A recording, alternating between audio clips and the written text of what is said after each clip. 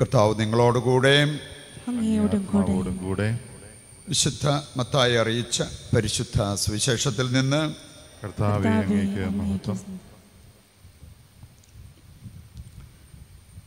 അധ്യായം ഒൻപത് ഒൻപത് മുതലുള്ള തിരുവചന ഭാഗം. അക്കാലത്ത് യാത്രാമധ്യേ മത്തായി എന്നൊരാൾ ചുങ്കസ്ഥലത്തിരിക്കുന്നത് യേശു കണ്ടു. യേശു അവനോട് പറഞ്ഞു എന്നെ അനുഗമിക്കുക. അവൻ എഴുന്നേറ്റ് യേശുവിനെ അനുഗമിച്ചു. യേശു അവന്റെ ഭവനത്തിൽ ഭക്ഷണത്തിനിരുന്നപ്പോൾ അനേകം ചുങ്കക്കാരും പാവികളും വന്ന് അവനോടും ശിഷ്യന്മാരോടും കൂടെ ഭക്ഷണത്തിനിരുന്നു.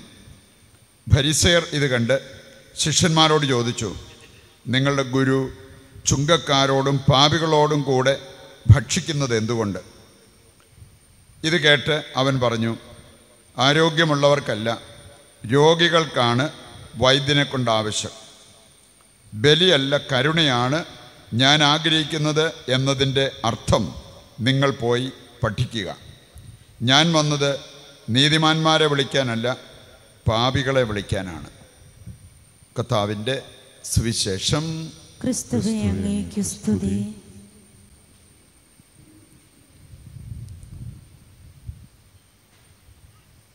ഈശോയിൽ പ്രിയപ്പെട്ടവർ നമ്മൾ ഇന്ന് മത്തായി സ്ലിഹായുടെ തിരുനാൾ ആഘോഷിക്കുകയാണ്. പന്ത്രണ്ട് അപസ്തോലന്മാരിൽ ഒരുവൻ നാല് സുവിശേഷകന്മാരിൽ ഒരുവൻ.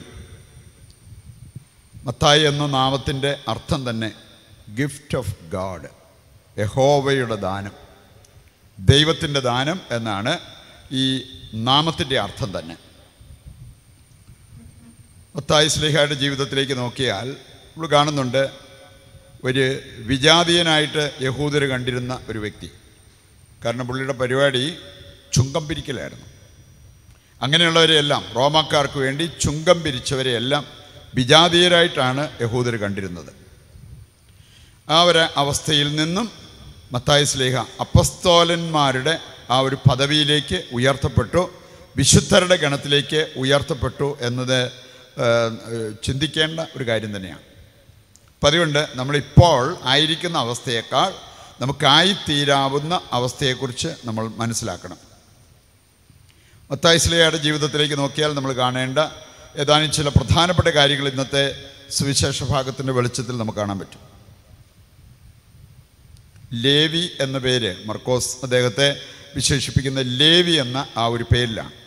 ലേവിയാണ് മാറി മത്തായി ആയത് ഇനി നമ്മൾ കാണുന്നുണ്ട് ലേവിയെ സംബന്ധിച്ചിടത്തോളം ഒരു പ്രധാനപ്പെട്ട ഒരു ഗുണം നമുക്ക് അദ്ദേഹത്തിൽ കാണാൻ സാധിക്കും. യേശു അതിൽ പാസ് ചെയ്തപ്പോൾ മത്തായിയെ വിളിച്ചു. യേശു പറഞ്ഞത് ഒരുപാട് കാര്യങ്ങളൊന്നും പറഞ്ഞിട്ടൊന്നുമില്ല. നമ്മൾ ഒരുപാട് കാര്യങ്ങൾ പറഞ്ഞിട്ട് ഒന്നും ഹൃദയത്തിലേക്ക് പലരുടെ ഹൃദയത്തിലേക്ക് പോകുന്നില്ല. കർത്താവ് ആകപ്പാടെ പറഞ്ഞ ഒരു കാര്യം ഇതാണ്. ഫോളോ മീ എന്നെ അനുഗമിക്കുക. അവനെല്ലാം ഉപേക്ഷിച്ച് അവന്റെ ജോലി നല്ല ജോലി നല്ല ശമ്പളം ഉണ്ടായിരുന്ന കാര്യം. വലിയ കട്ടിപ്പണിയൊന്നുമില്ലായിരുന്നു. ഇതെല്ലാം വിട്ടിട്ട് അവൻ യേശുവിനെ അനുഗമിക്കുന്നത് കാണാൻ പറ്റും. നമ്മളൊക്കെ ആയിരുന്നു മത്തായിയുടെ സ്ഥാനത്തെങ്കിൽ നമ്മളവിടെ നിന്ന് നെഞ്ചുരുകിയേനെ. ഇത്രയും കാശുണ്ടാക്കാൻ പറ്റുന്ന ജോലി വിട്ടിട്ട് പോകാനും. ഇനി നമ്മളെങ്ങനെ ജീവിക്കും? ഇപ്പം നമ്മുടെ കാര്യങ്ങളൊക്കെ നോക്കുമോ പിള്ളേരുടെ കാര്യം നോക്കുമോ എന്തെല്ലാം ന്യായീകരണങ്ങളാണ് വേണമെങ്കിൽ ആർക്കും ഒന്നും കൊടുക്കാതിരിക്കുന്നതിനും ഇതുപോലത്തെ ന്യായീകരണങ്ങളെല്ലാം നിരത്തി വയ്ക്കുന്ന വ്യക്തികളെ കാണാൻ പറ്റും. ഇവിടെ നമ്മൾ കാണുകയാണ് നല്ല ഒന്നാം തരം ജോലി. വളരെ എളുപ്പത്തിൽ ചെയ്യാവുന്ന കാര്യം. ഇതെല്ലാം അവൻ ഉപേക്ഷിച്ചു പൊടുന്നനെ ഉപേക്ഷിച്ചു. ഞാനൊന്ന് ആലോചിച്ചിട്ടൊരു ഒരാഴ്ച കഴിയുമ്പോൾ പറയാം എന്നല്ല പറഞ്ഞത്. ഇമ്മീഡിയറ്റ് റെസ്പോൺസാണ് നമ്മൾ കർത്താവിന് കൊടുക്കേണ്ടത്. അവിടെയാണ് പലർക്കും പരാജയം സംഭവിക്കുക. ഇങ്ങനെയുള്ള കാര്യങ്ങളൊക്കെ വരുമ്പോൾ നമ്മൾ ഒരുപാട് ആലോചിക്കും. ആലോചിക്കേണ്ട കാര്യങ്ങൾക്ക് ഒട്ടും ആലോചനയില്ലാതെ നമ്മൾ പെരുമാറുന്ന ഒരവസ്ഥ. വീണ്ടും നമ്മൾ മത്തായിസ്ലയുടെ ജീവിതത്തിലേക്ക് നോക്കിയാൽ നമ്മൾ കാണുന്നൊരു കാര്യം. ഇവൻ പിന്നീട് ഒരിക്കലും ഈ ചുങ്കം പിരിക്കുന്ന പണിയിലേക്ക് പോയില്ല. പത്രോസും അവന്റെ കൂടെ ഉണ്ടായിരുന്ന ചിലരൊക്കെ മീൻപിടുത്തം ഉപേക്ഷിച്ച് അവർ കർത്താവിനെ അനുഗമിച്ചു. പക്ഷെ പിന്നീട് നമ്മൾ കാണുകയാണ് അവർ തന്നെ പറയുക ഞാൻ മീൻ പിടിക്കാൻ പോവാം.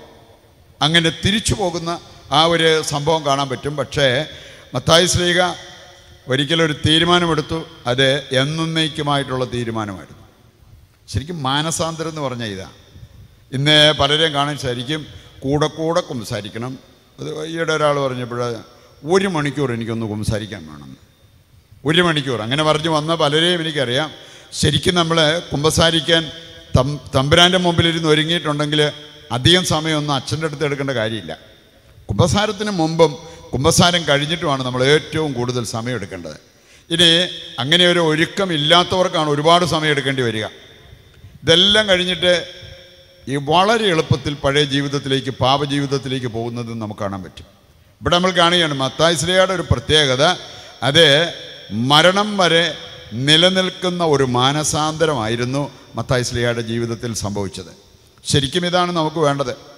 മരണം വരെ നമ്മുടെ ജീവിതത്തിൽ നിലനിൽക്കുന്ന മാറ്റം. ചിലർ മാറ്റത്തിനൊന്നും തയ്യാറാകത്തില്ല. മാറ്റം വന്നാൽ തന്നെ അധികം താമസിയാതെ തിരികെ പോകുന്ന തിരിച്ച് പാപത്തിലേക്ക് പോകുന്ന ആ ഒരു സാഹചര്യം. അതിനാണ് വ്യത്യാസം വരേണ്ടത് എന്ന കാര്യം നമ്മൾ തിരിച്ചറിയണം. രണ്ടാമതൊരു കാര്യം നമ്മൾ മനസ്സിലാക്കിയിരിക്കേണ്ടത് ഈ മത്തായി സ്ലീഗ കർത്താവിന്റെ വിളി ഏറ്റെടുത്ത് കഴിഞ്ഞപ്പോഴേ ചെയ്തൊരു കാര്യമുണ്ട്. എന്താണെന്നറിയോ? ആത്മാക്കളുടെ രക്ഷയ്ക്ക് വേണ്ടി തന്റെ ജീവനും തന്റെ സമ്പത്തും സമർപ്പിച്ചു. ആത്മാക്കളുടെ രക്ഷയ്ക്ക് വേണ്ടി. അതുകൊണ്ടാണ് വലിയൊരു വിരുന്നൊരുക്കി. എന്നിട്ട് അതിലേക്ക് യേശുക്രിസ്തുവിനെ ക്ഷണിച്ചു. അതുപോലെ തന്നെ മറ്റ് ചുങ്കക്കാരെയും പാവികളെയും ഒക്കെ ക്ഷണിച്ചു. മത്തായിക്ക് അറിയാമായിരുന്നു എനിക്കിങ്ങനെ ഒരു മാറ്റം കർത്താവ് മൂലം സംഭവിച്ചെങ്കിൽ വേറെ പലർക്കും മാറ്റം വരാവുന്നതേ ഉള്ളൂ. ഇന്ന് ക്രിസ്ത്യാനികൾക്ക് പറ്റുന്ന അവരും മാറത്തില്ല അവരും മൂലം മറ്റുള്ളവരും മാറിയല്ല അതാണോ ക്രിസ്തീയ ജീവിതം. അതിന്റെ പ്രധാനപ്പെട്ട ഒരു കാരണം ഇതായിരിക്കാം ധനമോഹം. ഒന്ന് തീമത്തി ആറ് പത്തിൽ പറഞ്ഞിട്ടുണ്ട് ധനമോഹമാണ് എല്ലാ തിന്മകളുടെയും അടിസ്ഥാന കാരണം. ഇന്ന് നമ്മൾ തിന്നാനും കുടിക്കാനും വസ്ത്രം വാങ്ങിക്കാനും സ്ഥലം മേടിക്കാനും വീട് വെക്കാനും വീടിന് പെയിന്റ് അടിക്കാനും വാഹനം വാങ്ങിക്കാനും ഒക്കെ ഒരുപാട് കാര്യങ്ങൾ മുട മുടക്കാറുണ്ട്. പക്ഷേ നമ്മുടെ ആത്മരക്ഷയ്ക്കും സുവിശേഷ വേലയ്ക്കുമായിട്ട് നമ്മൾ എന്തുമാത്രം മുടക്കുന്നുണ്ട്? നമ്മോട് തന്നെ ചോദിക്കേണ്ട ഒരു കാര്യമാണ്. അപ്പം നമ്മുടെ ശ്രദ്ധ എവിടെയാണ്? ഫോക്കസ് എവിടെയാണ് ലക്ഷ്യം എവിടെയാണ് അങ്ങനെയുള്ള കാര്യങ്ങൾ നമുക്ക് മനസ്സിലാക്കാനായിട്ട് സാധിക്കും. നമ്മൾ കാണുന്ന ഇതൊരു സുവിശേഷ വേലയായിരുന്നു. ഈ വേല ചെയ്തു കഴിഞ്ഞാൽ ഒരുപാട് ആത്മാക്കളെ നേടാൻ പറ്റും എന്നുള്ള ആ ഒരു ബോധ്യം മത്തായിസ്ലിയായിക്കൊണ്ടായിരുന്നു അതുകൊണ്ട് തന്നെയാണ് ഇങ്ങനെ ഒരു വിരുന്ന് ഒരുക്കിയത്. അതിന്റെ ചിലവൊന്നും നോക്കിയില്ല. മാനസാന്തരമുള്ളവർക്കാണ് ഇത് സംഭവിക്കുക. നമ്മൾ കാണുന്നുണ്ട് ലൂക്ക ഏഴാം അധ്യായത്തിൽ ഒരു പാവിനിയായ സ്ത്രീ മുപ്പത്തിയാറ് മുതലുള്ള വചനം വായിച്ചാൽ മതി. ഒരു പാപിനിയായ സ്ത്രീ. അവൾ കൊണ്ടുവന്നത് നല്ല വിലപിടിപ്പുള്ള ഒരു സുഗന്ധ തൈലം. മാനസാന്തരം വന്നപ്പം ആ ഇതെന്നാ ഇത് ഇത്രയും മുടക്കേണ്ട കാര്യമുണ്ടോ? ഇത് നഷ്ടമല്ലേ? അങ്ങനെയൊന്നും ചിന്തിക്കേണ്ട കാര്യമില്ല. മാനസാന്തരം ഇല്ലാതിരുന്ന ചിലരൊക്കെ വിളിച്ചു പറഞ്ഞു ഓ ഇതുകൊണ്ട് വേറെ എന്തെല്ലാം കാര്യം ചെയ്യാമായിരുന്നു? അപ്പം അതുകൊണ്ട് യഥാർത്ഥ മാനസാന്തരം വന്നു കഴിഞ്ഞാൽ പിന്നെ നമ്മുടെ സമ്പത്ത് ദൈവം പറയുന്നത് പോലെ നമ്മൾ വിനിയോഗിക്കും. ലൂക്കായുടെ സുവിശേഷം എട്ടാം അധ്യായം വായിച്ച മൂന്നാമത്തെ വചനത്തിലേക്ക് വരുമ്പോൾ ഏതാനും സ്ത്രീകൾ അവരുടെ പേരൊക്കെ പറഞ്ഞിട്ടുണ്ട്. ജോവാന്ന സുസാന്ന അങ്ങനെയുള്ള ചില വ്യക്തികളെ അവർ തങ്ങളുടെ സമ്പത്ത് കൊണ്ട് സുവിശേഷ വേല ചെയ്തു എന്നാണ് പറഞ്ഞിരിക്കുന്നത് അപ്പോൾ അതുകൊണ്ട് ഏതെങ്കിലും വിധത്തിലൊരു സുവിശേഷ വേല നമ്മൾ ചെയ്തേ പറ്റൂ.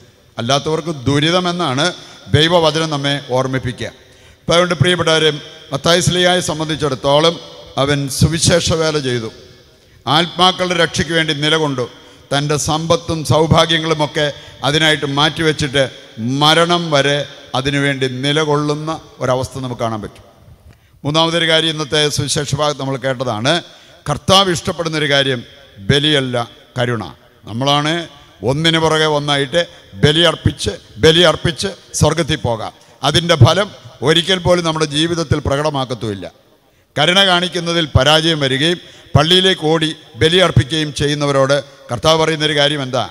നീ ബലിയർപ്പിക്കുന്ന വ്യക്തിയാണെങ്കിൽ നിന്റെ മുമ്പിൽ ഒരു സഹായം അർഹിക്കുന്ന വ്യക്തി വന്നാൽ കരുണ കാണിക്കണം. അതില്ലാത്തിടത്തോളം കാലം നിന്റെ ബലിയർപ്പണം കൊണ്ട് വലിയ ഫലമില്ലെന്നാണ് പറഞ്ഞിരിക്കുന്നത് അതുകൊണ്ട് പ്രിയപ്പെട്ടവരെ നമ്മുടെ ചങ്കിനകത്ത് കയറേണ്ട പല കാര്യങ്ങളുമാണ് കർത്താവ് നമ്മളെ പഠിപ്പിക്കുക. ഒരു ട്രഡീഷണൽ വേയിൽ നമ്മൾ കുറച്ച് പ്രാർത്ഥനകളും ബലിയർപ്പണങ്ങളുമായിട്ട് അങ്ങ് പോയാൽ പോരാ. ഈ ബലിയർപ്പണം നമ്മുടെ ജീവിതത്തെ രൂപാന്തരപ്പെടുത്തണം. അത് വന്നു വന്ന അവസാനം ക്രിസ്ത്യാനി എന്ന പേരുള്ളവരൊക്കെ മറ്റൊരു ക്രിസ്തുവായിട്ട് മാറണം. അപ്പോഴാണ് ഈ പ്രാർത്ഥന നമ്മുടെ ജീവിതത്തിൽ ഫലപ്രദമായി എന്ന് നമുക്ക് പറയാൻ പറ്റുക. ഈ ഒരു സന്ദേശം ഹൃദയത്തിലേക്ക് ഏറ്റെടുത്ത് അത് ജീവിക്കുവാൻ വേണ്ട. കൃപയ്ക്കും അനുഗ്രഹത്തിനും അഭിഷേകത്തിനുമായിട്ട് ഇന്നത്തെ ബലിയിൽ ദൈവത്തോട് നമുക്ക് പ്രാർത്ഥിക്കുകയും ചെയ്യാം.